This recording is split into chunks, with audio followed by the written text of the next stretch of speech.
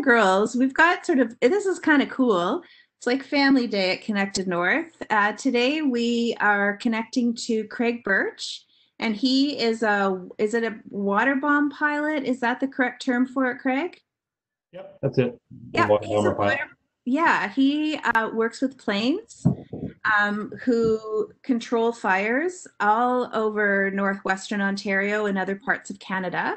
And when we did this session with the students in Iqaluit this this winter, they were fascinated just like by everything, by the plane, by the process, by some of the videos that he had. We were learning about the um, principles of flight, but it really is a, a fabulous um, presentation and a, quite a unique job that Craig has.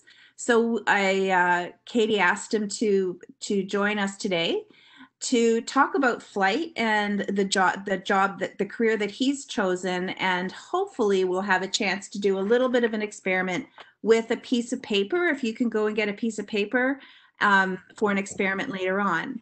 But i'm going to turn you over to craig and um, katie's right beside him. So katie how do you want to handle questions? Do you want craig to go right through or do you want craig to read the questions as we go think Craig will see a question come up and he can just answer it on the fly if it's related to what he's talking about. And then if there's anything that we missed at the end, maybe you can keep tabs on the ones that ones that he missed. So I'm sure he's going to talk, uh, see about where he stores his plane and all of that, because that's part of what he does. So I'm going to turn it over to you, Craig, and enjoy. Cool. Um, so I'm just going to pin Craig here. So we're not going to talk so much about uh, like the theory of flight and stuff like that. Uh, more about my job as a water bomber pilot and how I got into it, and um, just some of the things I do, and any questions that you guys have. And then if uh, we have time, then we'll make a paper airplane at the end of it. We found a cool paper airplane that works really well. So. Um, so my name is Craig Burch. I'm a water bomber pilot in Dryden. Uh, we have planes that are based in both Dryden and Sudbury usually, um, but we move them around depending on where the hazard is. So even though we're based in Dryden, we'll often spend time. I just got back from Chapleau, from a shift in Chapleau, and then we, we had planes in Red Lake and Thunder Bay as well, often up in Pickle Lake. Uh, I live in Sioux Lookout though. Um, and uh, yeah, so I commute down to Dryden typically, and uh, it all depends on the hazard and how much of a fire risk there is at the time. Um, so should we start the? Sure. Sure. Yeah. Sure. Everybody see Craig's slide? Just put a yes in the chat if you can see Craig's slide. Awesome. Think you can go to view present.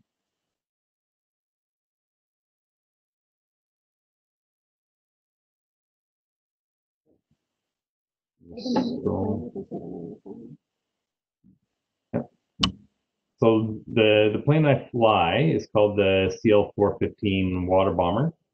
It's a plane that's Canadian designed and Canadian made, and it was originally made by a company called Canadair and then they became Bombardier, and now it's owned by a company called uh, Viking out in uh, British Columbia. Does anyone know what the plane looks like? Have you guys ever seen a water bomber? What color it is? Take a guess. See if you can figure out what color it might be.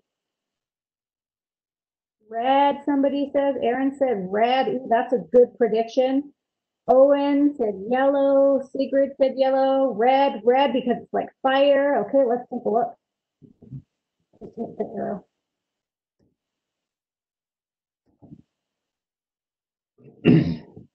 there we go. So that's the Ontario water bombers. Uh, most of the water bombers are yellow. They're yellow with uh, either black and white or uh, some red and white. Uh, out in Newfoundland, they're actually uh, they call them peas and carrots because they're actually colored green and orange. They look just like the color of peas and carrots. Um, so It's a fully amphibious airplane. Does anyone know what amphibious means? Take a guess. What do you think amphibious airplane means?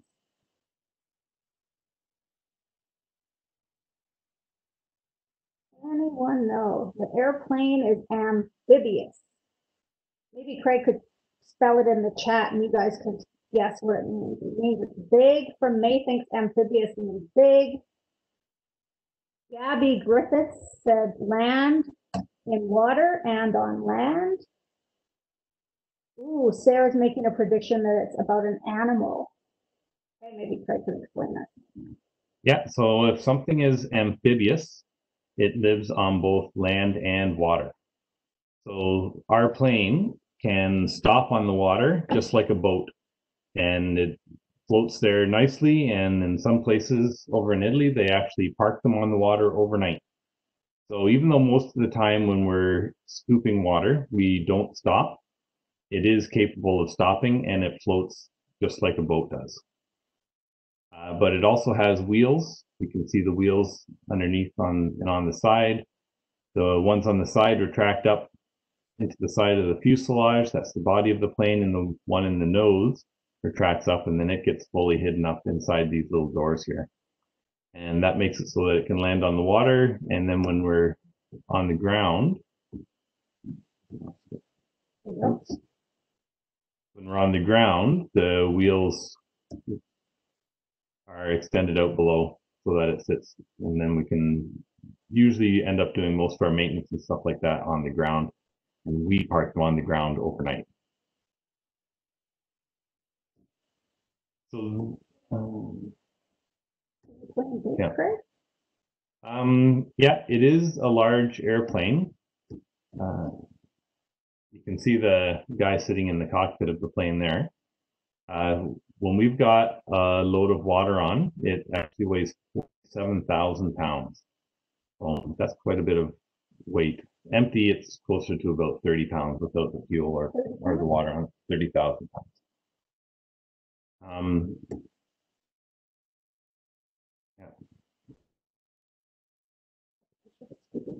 So yeah, on this uh, picture, it's just about to touch down. You can see the wheels on the side of it that are folded up so that they do not dangle in the water touching down. But they stay outside of the plane just like that on the side. It's only the one in the nose that folds right up inside. Lots of kids say OMG, Craig. That Yeah. looks pretty scary. So the, the main purpose is to scoop up water and then drop it on forest fires. Uh, it only takes about 12 seconds to fill the plane up, and that picks up 13,000 pounds of water. What do you that- guys think that these two flaps are for that you're seeing right now? What do you think those do? They're, they're doors. That's a, They're that's doors. What do you think those doors do? They're thinking. Wowzers. Pick up water. Aaron thinks it picks up water. Owen and Aiden think it lets water out, lets water in. That's actually what I thought at first is those doors let the water in, but Craig's going to tell us what happens. Yeah, those are actually the doors that let the water out. There's actually two more you can see over on the far side. You can only see one of them there, but that's for the water to come out. The scoops are actually over here. Oh, Can you guys see my cursor? See the cursor on there? Over here on the right-hand side, there's two little scoops. And those little scoops are what we use to scoop the water up. So they're not that big. They're actually only about this big. And there's one on each plate. one on each side. And that's what scoops up all the water. So when we touch down, we're still flying at about almost 100 miles per hour. So that water gets picked up really fast. There's no pumps or anything that suck it in. It just gets jammed in there because we're going forward and those scoops hang down in front of the into the water. And how fast do you fill up your tanks? Uh, it takes about 12 seconds to fill it up. And how much So that's that? 13,000 pounds. So that's about 6,100 liters. So that's about the same as 50 bathtubs In twelve seconds. in 12 seconds. Yeah. Wow. And how long does it take to let the water out? Uh, only one second. Yeah. It all falls out pretty quickly. Right. There we go. So there's a couple pitches as well. The first one on the left-hand side is coming in. This was actually part of a drop test that we did in Dryden, where they were actually measuring where the water goes, how much it spreads out, how much goes through the trees, and what kind of footprint it has. So we had a lot- bunch of photographers on site, which was really neat. So that's actually me flying in the plane that time. And that's the water coming out. Um, when we are picking it up, we can feel the drag. Uh, it's only really initially when you just first touch down, it wants to pull the nose down into the water.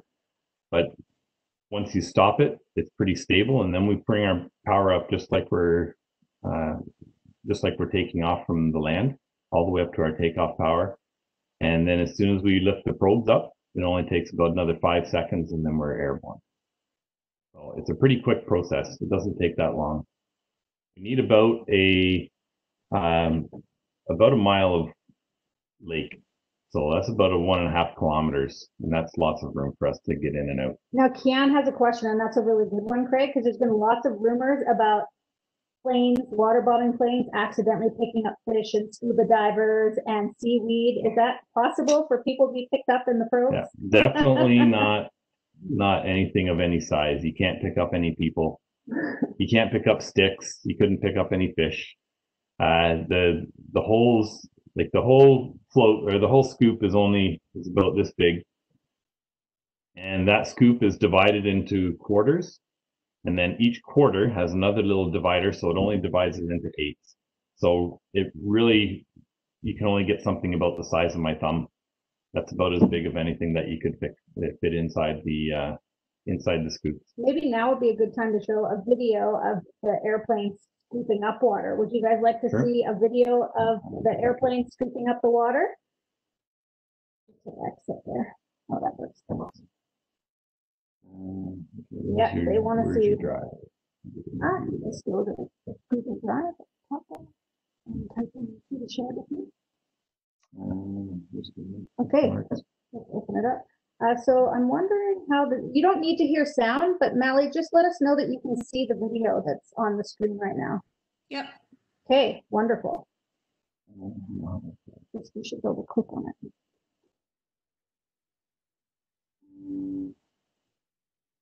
Chat for a. Just one sec, boys and girls. We're just, is that a picture or is it a video? No, video.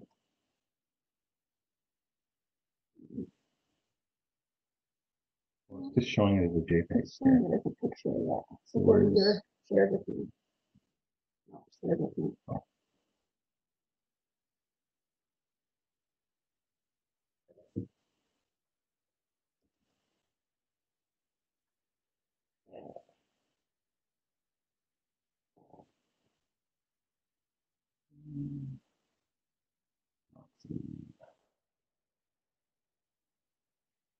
Okay, so this is, can you see the video?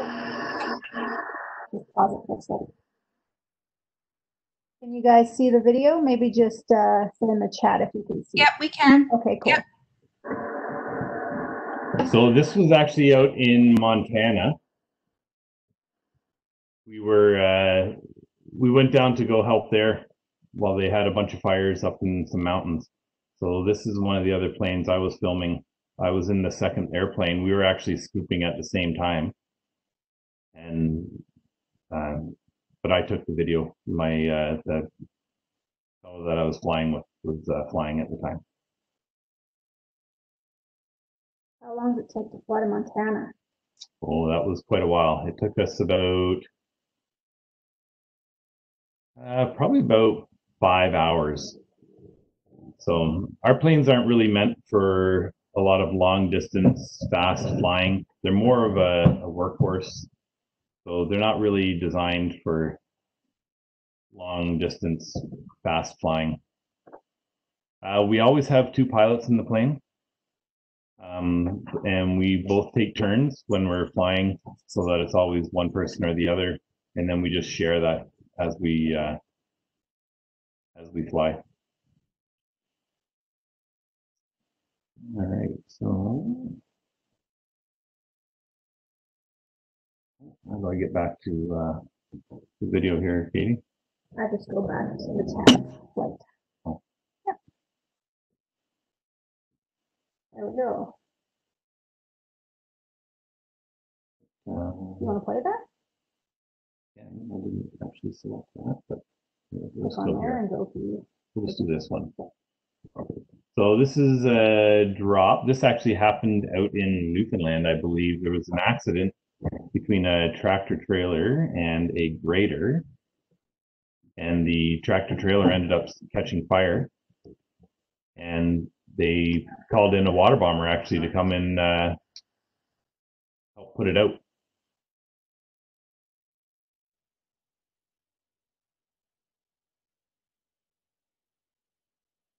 If you look at the water bomber when you fly it, you'll see the the colors on it. This is the this is a Newfoundland water bomber. This is why they call them peas and carrots.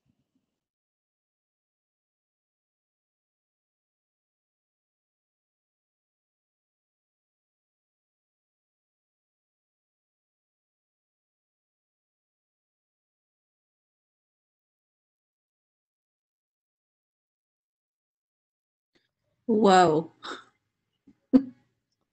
So there's actually quite a bit of pressure, Sigrid. Uh, it's actually, um, it can actually be quite dangerous for people on the ground.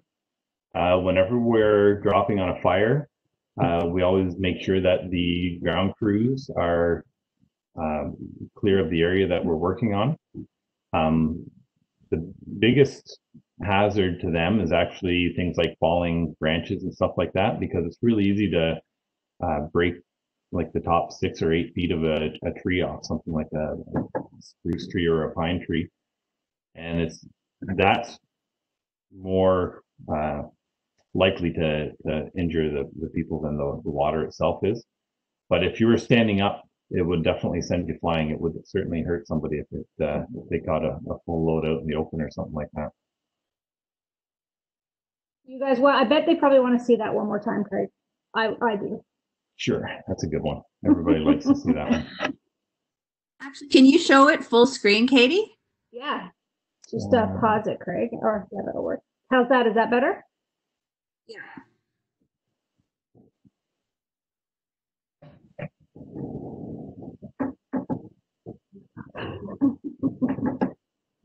It's a pretty cool video. And while, while that's happening, Carol's wondering if radios on the plane communicate with the ground crew. Yeah. So if you actually look in the video, you can see there's another plane behind the water bomber. Uh, that plane, or actually that one there was a helicopter, but we have uh, radios that will communicate with the guys on the ground. But most of the time, we have somebody else that's with us called a bird dog, and they coordinate everybody all together. They're kind of like an air traffic controller in the sky. So this is a picture of them. They fly over top and they mostly direct us where they want the drops and they keep in contact with the ground crews to make sure that they're a safe distance away.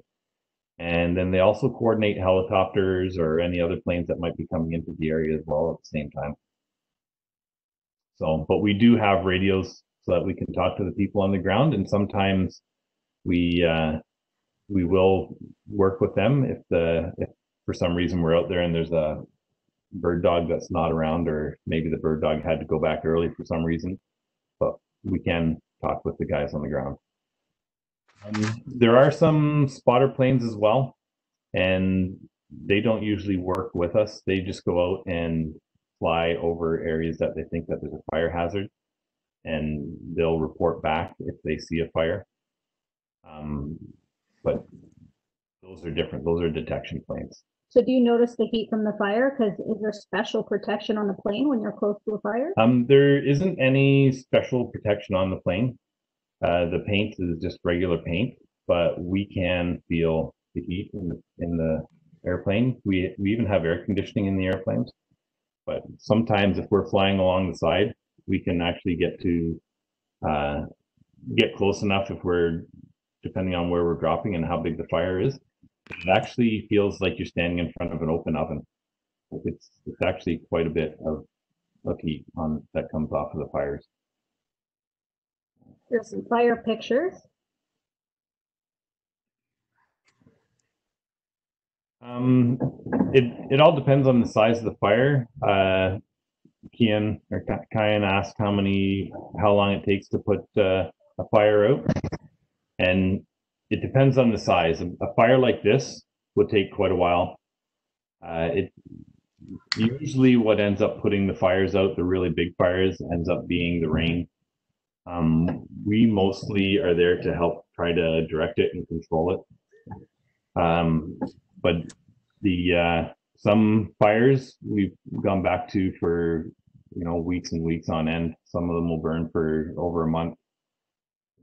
Um, but other ones that are nice and small, we can put them out with just one load, and then they send a helicopter and a ground crew in to to make sure that it's out. Um, yeah, Jordan said it looks like the clouds are touching the ground. The clouds in this picture are actually up above, but large fires will actually create their own clouds and they can actually create their own weather as well. Um, you can actually, we don't fly in the smoke. Alec asked, asked if we, how we see and breathe in the smoke. So we don't spend a whole lot of time in the smoke, um, but we do fly through it. Uh, but we need to be able to see where we're going all the time. We do also, though, have I've got another video here, which is a pretty neat video. So this is, uh, oh, Sigrid asked if I worked with the Kanchikum fires last year, and I did. I have, I might even have some videos from that. Um, this fire here, though, is from one two years ago, was over in Temagami. And this is a picture of our forward-looking infrared camera. So if you look down in the front here on the bottom, there's a screen there. It's not a very, it was pretty rough and bumpy. So that's actually the fire. You can see out the front window. The smoke makes it kind of difficult to see, but you can still see the trees there. This is the uh, uh, fire that was in Temagami. It was called North Bay 69 last year. And then that, so the bright stuff is the heat from the fire. Uh, the camera always shows a relative um, relative image. So the cold things show up as dark and the hot things show up as light. So the dark black stuff there that you see is the lakes.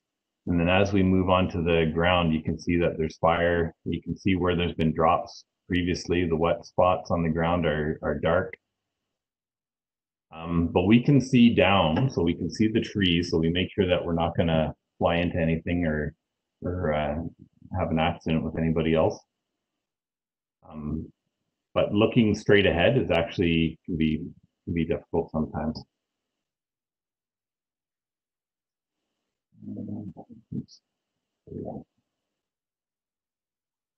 I have another one. This is another video here. How much surface area does one load cover, Craig? Ooh, that's a good question, actually.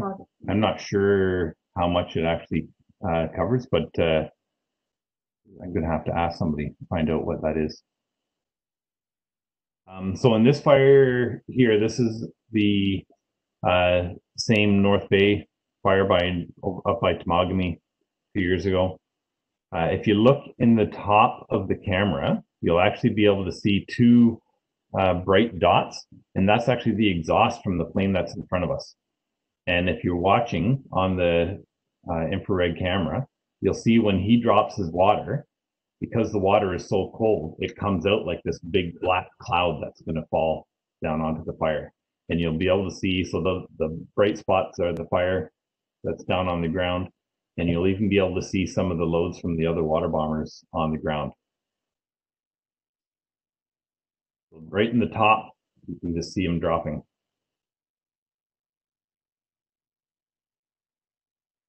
So that's the cloud of cold water coming down onto the ground as we fly past.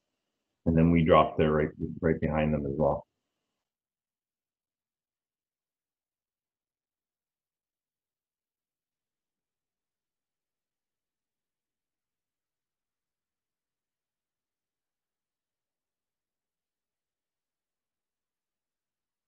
All right, so we'll continue on with the slideshow here. If there's anything else that you guys want to, Oh, do that. what's this one here? Those, that's the one you just showed, I think. There's, there's the inside of the water bomber. That's a good one. And the sound dot. so this is uh, a video that somebody else took. That's a walk around. Oops. It's a walk about around the uh, water bomber, and I will narrate it for you. Where should I just go? Where are you going? I'm gonna go to Pete's Houses. I've got a meetings with Jen and stuff. Oh, that's fine.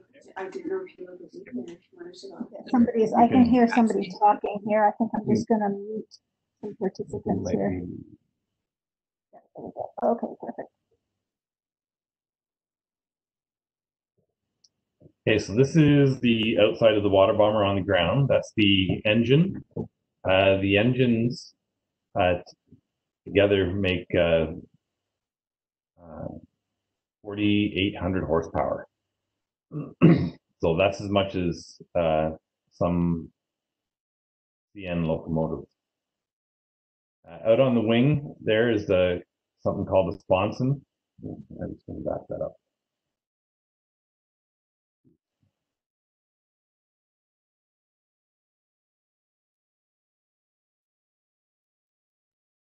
So out on the wingtip is a, a float that uh, helps keep the wing out of the water right there. So uh, when we stop on the water or when we are um, touching down, if we're uh, scooping, that keeps the wingtip up out of the water.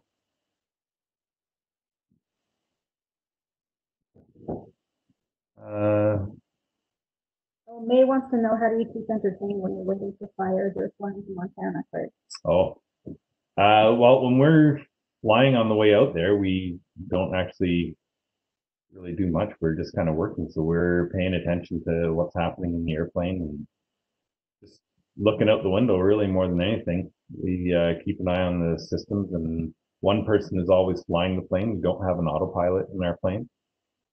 Um, so it's uh, one person gets to kind of sit and relax a little bit, but uh, somebody's always flying the plane. There you can see the wheels and the big shocks for when we're landing on the ground. How long can you fly without having to refuel first? Uh, we we can put enough water on, or uh, fuel on for about six hours of flying. Um, but we don't usually put that much on because it's uh, it takes away from the amount of water that we can pick up. So we actually are limited by weight on the airplane as to how much we're allowed to make the plane weigh in total. And that's a combination of fuel and water and the plane itself. So once we're, if we're working, we always keep the plane light enough so that we can immediately take off and then start scooping water in case there's a fire right close to the airport. So we usually fly for about three and a half hours. Uh, we could go a little bit longer, but that's a that's a pretty long flight already. Um, training wise, uh, we do special training for the water bomber specifically. But I did start out just like any other pilot with my private pilot's license and then getting my commercial pilot's license. And, and I spent uh, a number of years flying other smaller planes, mostly bush planes and some air ambulance and things like that before I got to uh, fly the water bomber before I started flying with the Ministry of Natural Resources. Um, I did fly gliders actually down in southern Ontario. That's where I got my first license with my glider pilot license. I got that through the Air Cadets. Good shot on the video of the underside of the airplane.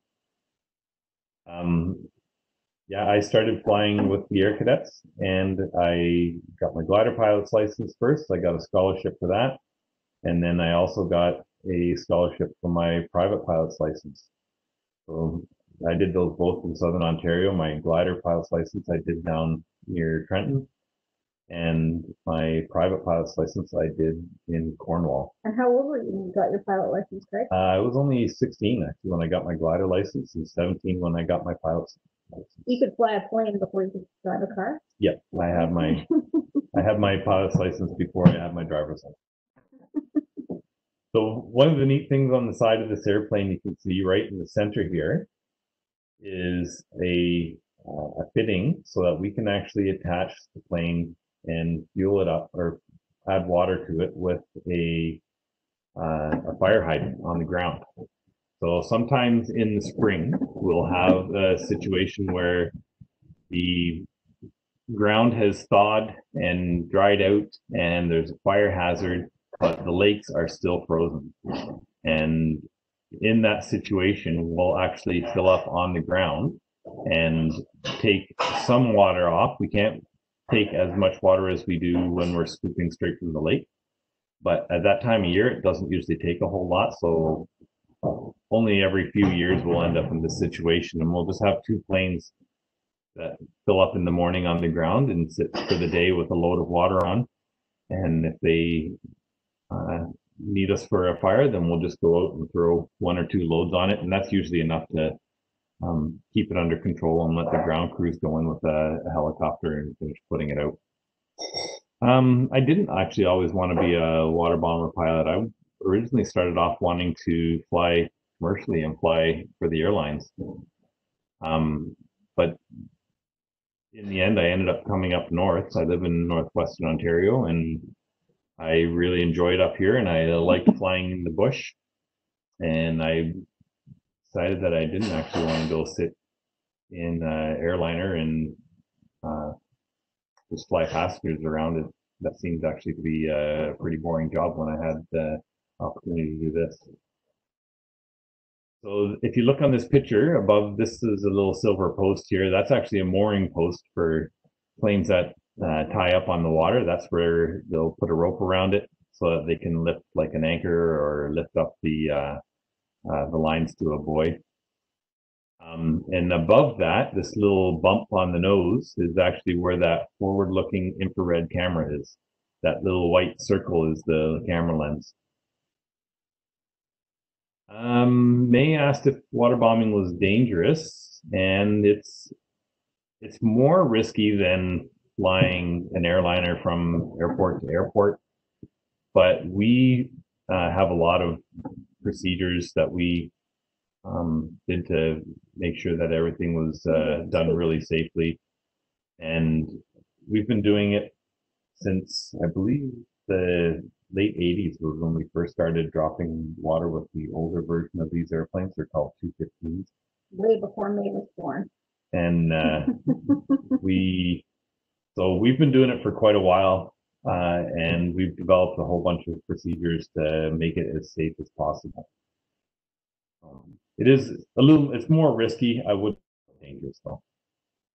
So this picture here, you can actually see the scoops uh, there's one on either side, one over on this side, and that scoop fills up one side of each scoop fills up one side of the tank. We'll see inside it in a little bit here as well. Uh, and that scoop is divided into two, and then the tanks inside are divided in half, and then each half has its own door. So we can drop water from one door at a time if we want, or two, and then the other two, or we typically drop all four at the same time. Um, all four at the same time is called a salvo drop. And the, the point of that is to keep the water together. It's a heavier uh, parcel of water, so it gets down through the trees a lot better, through the branches, and gets down onto the ground where the fire is. Um, but if we're fighting something like a grass fire, and we don't need to get through the trees and the canopy, then we'll actually do what we call an auto drop. And when we press the button, it'll open one door and then there'll be a time delay. And then the second door opens and then a time delay in the third and then a time delay and then the fourth. And when we're doing that, we can actually string uh, a load of, of foam and water out over the length of about a football field. So we can actually draw it out quite a bit, but it doesn't penetrate as well when we do that. So we only do that when it's more uh, a grass fire or something in the open where we don't need to get down through the canopy. To inside and then we'll probably have to get started. on the-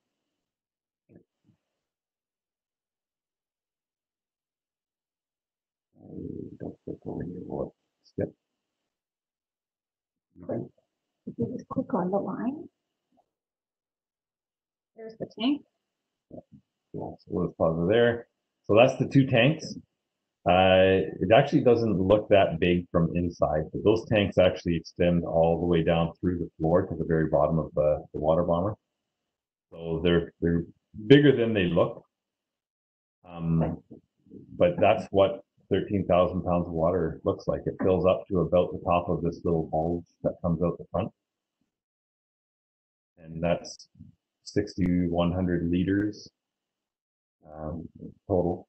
So three, just over 3,000 liters per, per size. Um, it does change the balance, uh, not a whole lot. The, the tanks were situated intentionally very close to our center of balance when we're flying. That's called your center of gravity. Um, so they did that for the, that point exactly, but they are a little bit forward of that point. So when we drop, the nose does actually want to uh, lift up into the air, but it, it's pretty easy to control it and to stop it. Um, the drop for a large fire, you mean for in the trees, was called a salvo. Uh, that's S A L V O. So that basically means just letting it all go at once.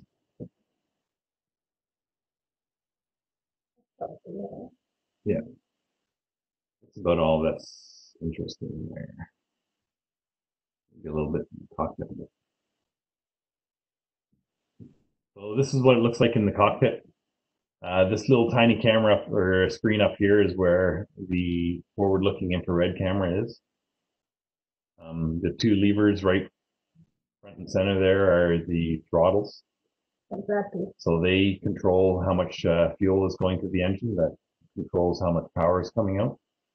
And then these two white ones down in the bottom right are called our condition levers. They add, turn the fuel on, and then they also control the RPM of the propellers by controlling the angle that they uh, that they're running at. And that, And It's just RPM like- stands for revs per minute, right? yeah, so that's just like uh, shifting gears in your car. That's basically what that does. Awesome. Um, Does so- anyone, maybe people have any burning, burning questions Uh-huh. about fires? But we could maybe quickly talk about fire and what causes forest fires. Maybe you guys could ask questions, you could answer this question. We have a question coming up, maybe Craig could click on it. Um, how do forest fires burn? Does anyone know what scientific elements are needed for a fire to burn? Take a guess in the chat. What do you need for a fire to burn? Aaron said CO2, oxygen, May said oxygen heat. Any other ideas? there's three things. Three components that you need, perfect things to happen for a fire to burn. Oxygen, heat. All right, let's take a look. So that's close. You're just missing one there, May. Oxygen, heat, and fuel. So you always have to have all three of these things. These three items are actually called the fire triangle. And they call it a fire triangle because if you take away any one of these, the triangle collapses and the fire will stop. It won't burn if there's no heat. It won't burn if there's no oxygen. And it won't burn if there's no fuel. So when we drop water, one of the what we're doing is getting rid of the heat. The water uh, suffocates it, or uh, the water cools off the, the fire and stops the heat.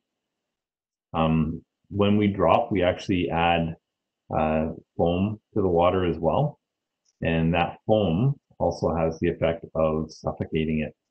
It helps the uh, water stick to the leaves. It also helps it uh, soak into the ground better, and it helps slow down down how fast it evaporates. And we can make the foam really thick, like uh, we can make it thick like whipped cream. Um, and it will really smother a fire. It works super effective if we're fighting something like a grass fire. But the thicker that we make it, by adding foam concentrate, the thicker we make it, the more it drifts and the more it gets caught up in the branches and in the trees. So there are two main factors that cause fires. Can you guess what they are? Mm, this is a bit of a trick question. Two main factors. There's two Two things things. that cause fires. You can guess. We'll give you a minute. What causes the fire? Humans, Owen and Aiden said. Yeah. That's a good Yes, you're right about that. Anything else that causes fires? In the bush, in the forest? Cigarettes, gas? Yeah, those are all human factors. What's the non-human factor? Animals? Not have animals Hmm. cause fire? Maybe, maybe their poop causes insulation. Maybe. Continues the fire. Yeah. Heat from the sun, yeah. Let's have a look. So naturally caused fires are caused by lightning. Uh, all Very small. spontaneous combustion is, is a very unlikely situation. Sometimes what we, we can uh, get fires from, you can actually have fires that start from things left like pop cans. They will actually heat up and reflect the sun and they can actually start fires in, in uh, super dry conditions as well. But for the most part, it's lightning. That's the naturally caused fire. And then the second one is human caused. So human caused fires would be from smoking. Cigarettes was one of the things that uh, you guessed. Uh, recreation like camping or having a shore lunch or uh, equipment, uh, logging equipment causes fires for us every year. Or Uh, Uh, dump the- fires is another big one. yeah, that's usually for people lighting their garbage on fire. Um, and then uh, the trains often cause a lot of fire for us as well.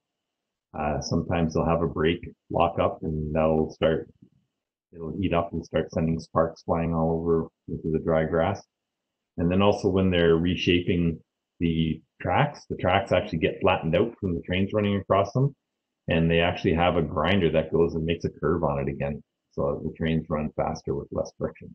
Okay, I think we're almost out of time, so we should start on a paper airplane. Does anyone have any burning questions while we set up the document camera? So if you have any questions you'd like to ask Craig or about fires or about flying or anything, pop them in the chat and then we'll switch cameras here. So let's go to the top of the screen.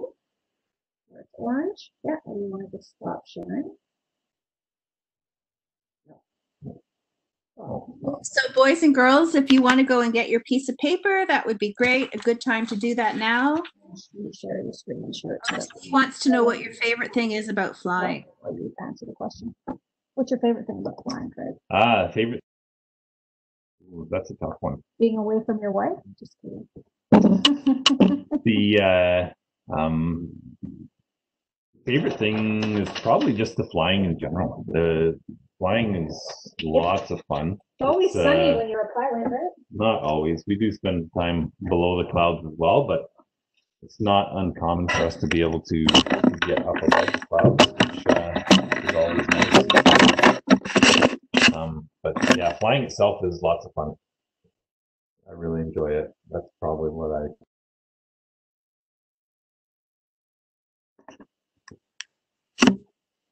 Okay, can everybody see the document camera? Oh, come on. Yeah. Yep, yep, alrighty. Okay, so the first step is going to be folding your piece of paper in half lengthways, Hot dog style. Hot dog style. So fold it over. Try to get it as close to uh, even as possible. I don't know how quickly I should uh, proceed with this, Mally. If you want to let me know if I'm going too fast or if I can. The kid will let us know if you're going too fast. Yep. Okay.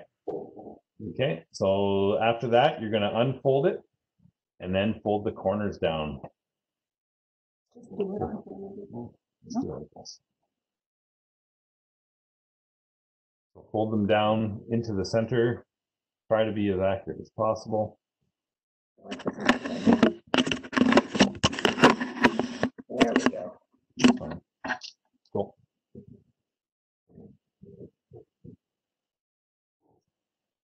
And Now, the next step, you're gonna fold the tip all the way down like this, but you need to make sure that you leave about a centimeter of space at the bottom where the tip is.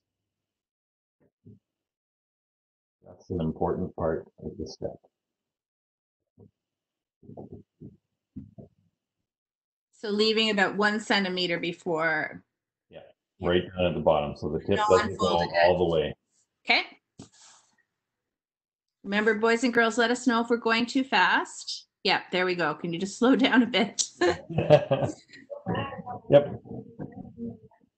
That's pretty, pretty simple so far.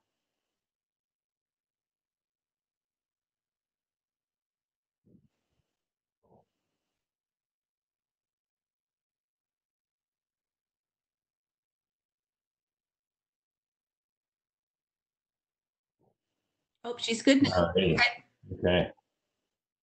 So next step, we're gonna fold these corners in to the center, and it's gonna end up looking like this. So you should see this little bit of triangle popping out from the bottom.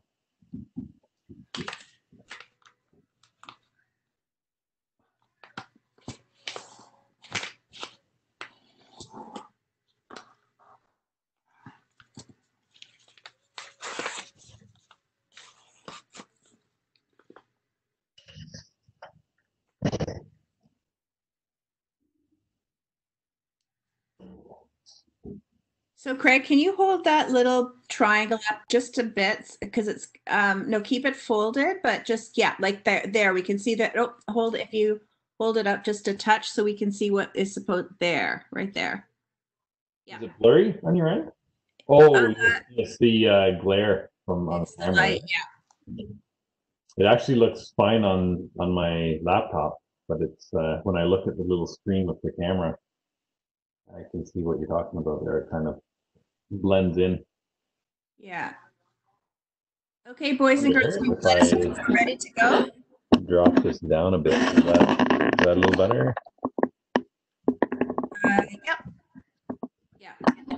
It's just the, it's the light. It's, it's Yep. just white. So, Yep. okay, we're good to go. Gab- Gabby Griffiths is ready. Okay, so next you're going to take that little triangle and you're going to fold it up and over top. That's uh, there. No, there we are.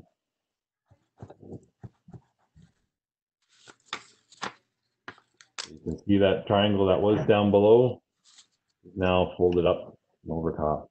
Well, that does just kind of disappear there, eh? It has trouble with balance. There we go. So you fold the little triangle up.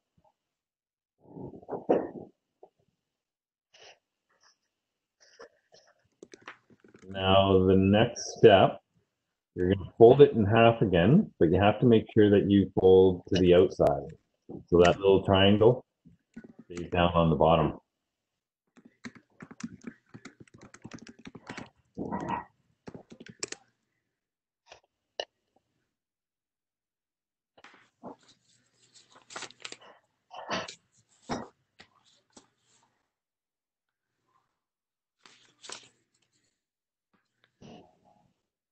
There's only one more step after this.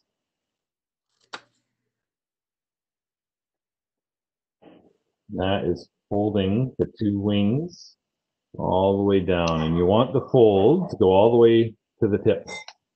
So you're going to fold that side so it's all the way flat like this. There we go. And then flip it over and do the same on the other side.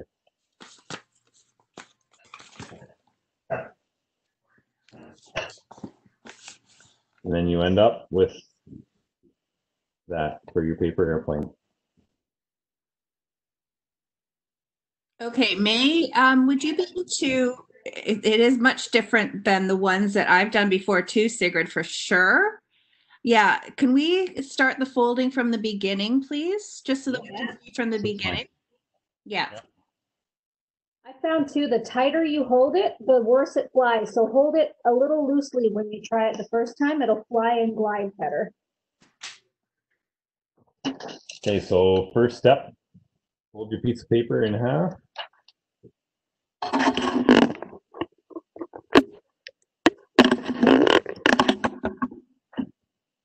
To find the right light in this.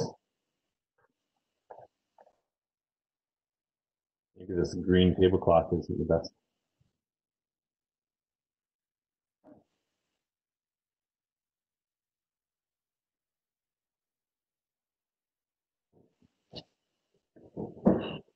Then you're gonna open it back up again. That's I don't know if that helps a little bit, maybe. Maybe. We'll Fold it in half. Open it back up. And fold two corners down into the center. Like this.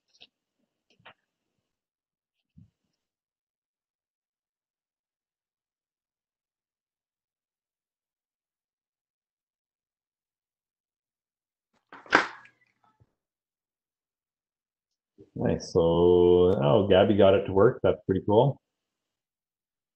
Um, and Sarah is asking if we're done now. This is this is the last thing that we need to do. Um, so yeah, if you need to go, you can go. Uh, actually, we're probably going to end up out of our, no, okay. Um, so I do have other videos and stuff. If anybody wants to hang around, we could We can share them more with Mallory. Can we put them on our website for uh, like a couple of days? videos. I guess. Um, Yeah, we should Sigrid do is that. asking what kind or brand of document camera you use. Uh, I, it's just a inexpensive one from the internet. Actually, I bought it from Amazon. Sigrid, it's called IPVO, I P E V O four. You want to put that in the chat? I P E V O. O number four. Yes. Oh, I'm not typing. Awesome. I P E V O number four.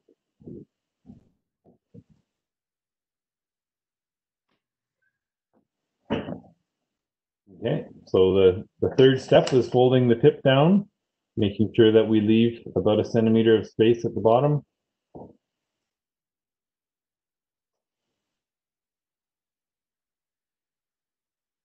Aaron's flew almost all the way into the closet. Nice. Awesome. You're welcome, parent. If you're listening, you have paper airplanes flying all day. yeah, this one worked Yeah. really well. Mine went, um, Yeah. into the hallway and downstairs. So next step is to fold the corners into the center, making, it should leave that little triangle.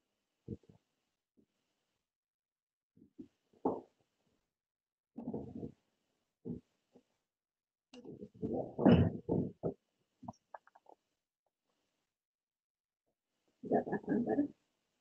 No, no, no.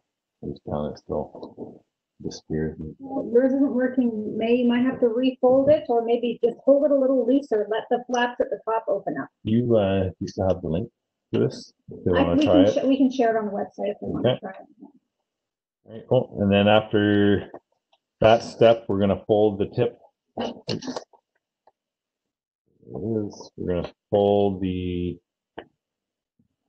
triangle up over top of the two ends.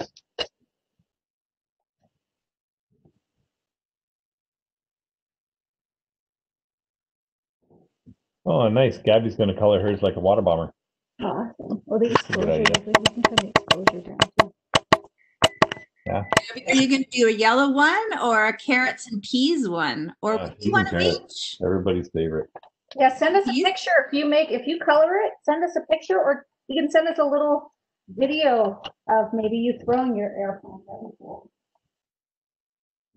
So after you've folded the triangle up, you're going to fold it to the outside in half along the center line that you folded first.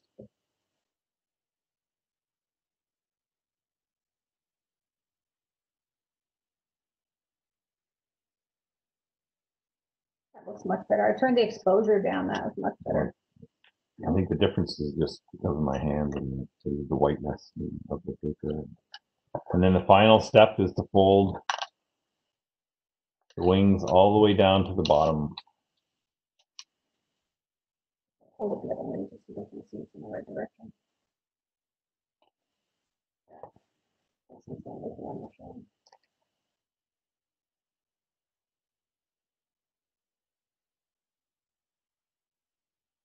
Try throwing it up and see what happens. It's cool. What happens, Aaron? Does it come down like a dart?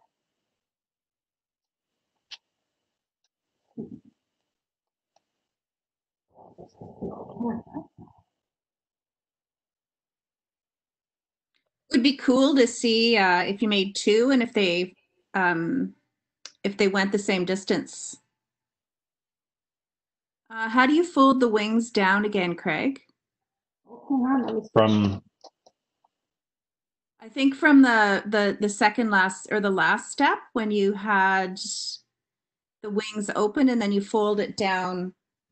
yeah, It's downstairs now. Um, can you show May how to do it? Maybe from that angle, like what it looks. What what does the finished plane look like from your angle? step, you think? Yeah, but from that step, yeah. So from here, fold the wings all the way down like this. All the way down so that the edge of the wing is parallel or is in line with the bottom of the plane.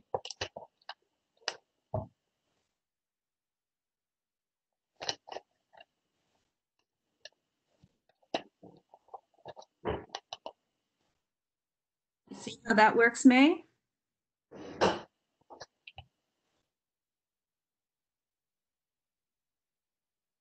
Well, I think she's, and then you turn it up um, onto the other side and do the same thing to the other wing. Yeah. Yeah. That's a really cool plane.